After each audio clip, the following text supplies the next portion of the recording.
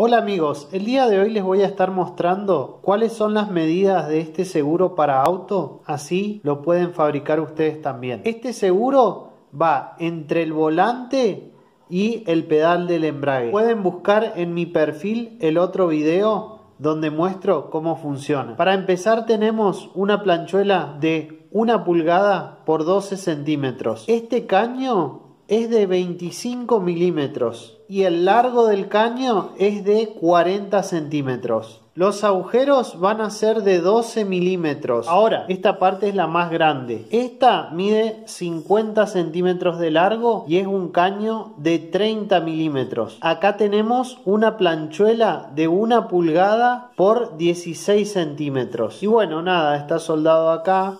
Obviamente la otra pieza es igual y esto entra acá así. Ahí pueden ver que quedan los agujeros o para regularlo. Y después van a necesitar un candado de estos candados anti cizalla o pistón que le dicen también que es el que se va a conectar acá. Como pueden ver se conecta ahí y no puede salir. Esta planchuela me olvidé de mencionar que es de 316 de ancho. ¿Sí? Es una planchuela bastante gruesa. Si quieren la hacen mucho más gruesa, sería mejor. Nos vemos en un próximo video.